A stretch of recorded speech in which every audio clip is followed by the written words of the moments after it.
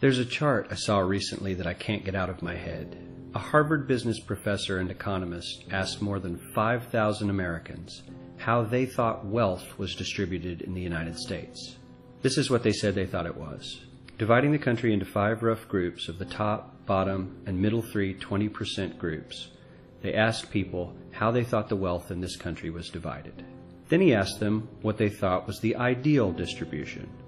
And 92%, that's at least 9 out of 10 of them, said it should be more like this.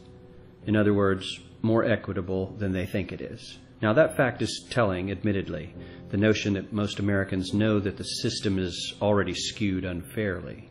But what's most interesting to me is the reality compared to our perception. The ideal is as far removed from our perception of reality as the actual distribution is from what we think exists in this country. So ignore the ideal for a moment. Here's what we think it is again. And here is the actual distribution. Shockingly skewed. Not only do the bottom 20% and the next 20%, the bottom 40% of Americans barely have any of the wealth. I mean, it's hard to even see them on the chart. But the top 1% has more of the country's wealth than 9 out of 10 Americans believe the entire top 20% should have. Mind blowing. But let's look at it another way because I find this chart kind of difficult to wrap my head around. Instead, let's reduce the 311 million Americans to just a representative 100 people. Make it simple. Here they are teachers, coaches, firefighters, construction workers, engineers, doctors, lawyers, some investment bankers, a CEO, maybe a celebrity or two. Now let's line them up according to their wealth. Poorest people on the left, wealthiest on the right, just a steady row of folks based on their net worth. We'll color code them like we did before based on which 20% quintile they fall into.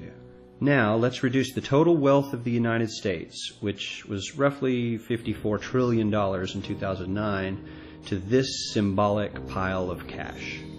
And let's distribute it among our 100 Americans. Well, here's socialism, all the wealth of the country distributed equally. We all know that won't work. We need to encourage people to work and work hard to achieve that good old American dream and keep our country moving forward. So, here's that ideal we asked everyone about. Something like this curve.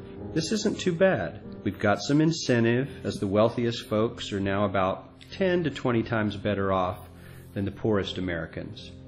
But hey, even the poor folks aren't actually poor, since the poverty line has stayed almost entirely off the chart.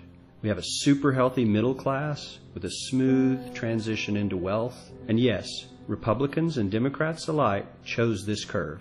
9 out of 10 people, 92%, said this was a nice, ideal distribution of America's wealth. But let's move on.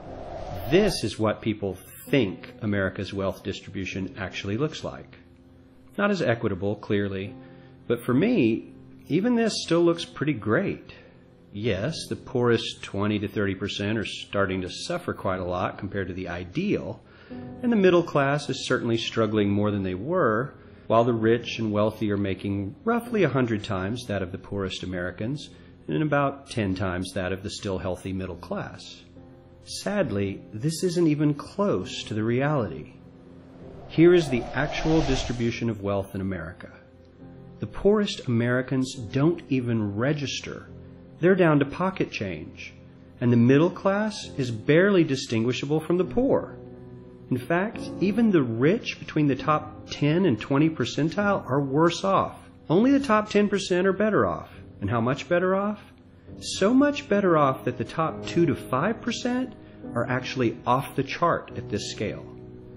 And the top 1%, this guy, well, his stack of money stretches 10 times higher than we can show. Here's his stack of cash, restacked, all by itself. This is the top 1% we've been hearing so much about. So much green in his pockets that I have to give him a whole new column of his own because he won't fit on my chart. 1% of America has 40% of all the nation's wealth. The bottom 80%, 8 out of every 10 people, or 80 out of these 100, only has 7% between them. And this has only gotten worse in the last 20 to 30 years. While the richest 1% take home almost a quarter of the national income today, in 1976 they took home only 9%, meaning their share of income has nearly tripled in the last 30 years. The top 1% own half the country's stocks, bonds, and mutual funds. The bottom 50% of Americans own only half a percent of these investments, which means they aren't investing. They're just scraping by.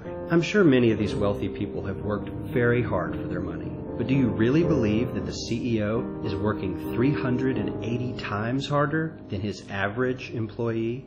N- not his lowest paid employee, not the janitor, but the average earner in his company.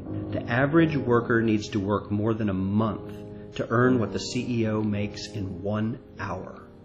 We certainly don't have to go all the way to socialism to find something that is fair for hardworking Americans. We don't even have to achieve what most of us consider might be ideal.